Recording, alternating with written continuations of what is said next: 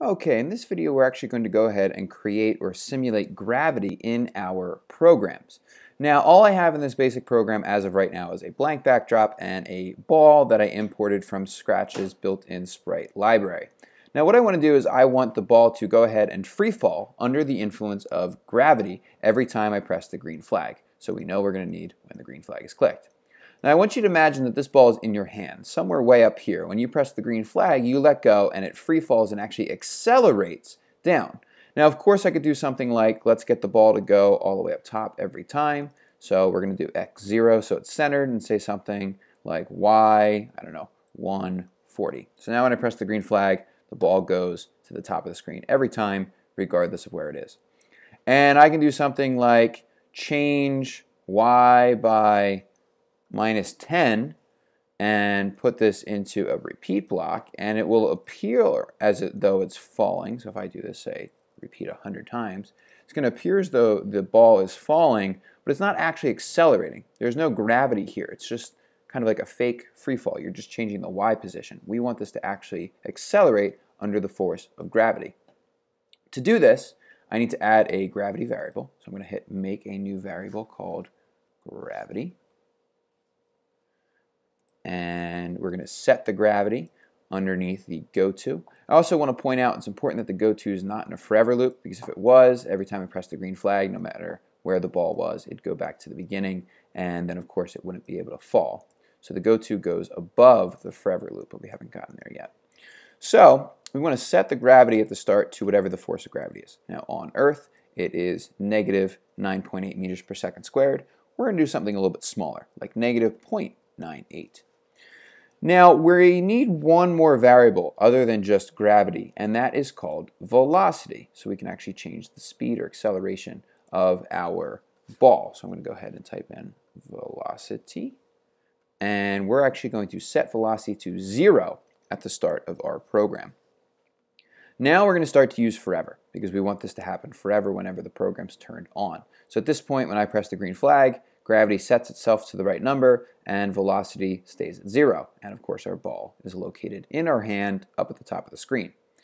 What we need to do is we need to actually cause a relationship between velocity and gravity. That way, as the program runs, velocity will actually accelerate when the ball starts to fall. So we need to go ahead and say velocity is set to velocity plus gravity. So I'm going to use the operator block here and drag the velocity plus gravity. So right now if I press the green flag, you'll notice that velocity accelerates rapidly times or with the addition of gravity in the negative direction because of course we're free falling. If we change gravity to a positive number, we would actually be going straight up.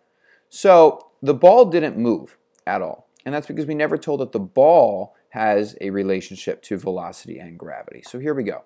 We're going to go to the Motion tab, and we're going to set its Y position. We're not worried about X, we're just free falling, so we're just going up and down. We're going to set Y to the Y position plus velocity. So now its Y position, and again that's the vertical position, is going to be affected by the velocity variable. So let's see what happens when I press the green flag. Look at that the ball falls. However, it doesn't stop falling. In fact, it keeps accelerating as it continues to kind of twitch at the bottom of my screen here. That's because we never told it what to do when it gets to the bottom. So we need to say at some point velocity should equal zero when it's at the bottom of my screen. To do this, I'm going to paint a new sprite. I'm just going to grab a green box and I'm going to kind of paint a rectangle along the bottom of my screen here and I'm going to call this ground. I'm going to go ahead and just center this at the very bottom of my screen. Go to the center here. And notice how it's actually in front of the ball. To move characters on top of one another, all you have to do is click and drag, and now the ball is located on top of the ground. And I'm actually going to rename this to ground. So what we want to say in our program for the ball is if we're touching the ground, set velocity to zero, stop falling. However, at all other times, set the velocity to our gravity free falling function that we've already written. To do this, I'm going to use an if-else statement. So if, else, and of course, if touching ground. So if touching ground. Now let's see what happens. It free falls until it gets to ground. So our ball goes ahead and accelerates till it hits ground. Now I can change my gravity number to change the speed at which it accelerates. So if you want to be on the moon, you can change the number and have a different gravity effect on your characters. And what I want to do now is I actually want to make my ball go up every time I press the up key rather than just free falling. So I'm going to throw out this go to at the start of my program.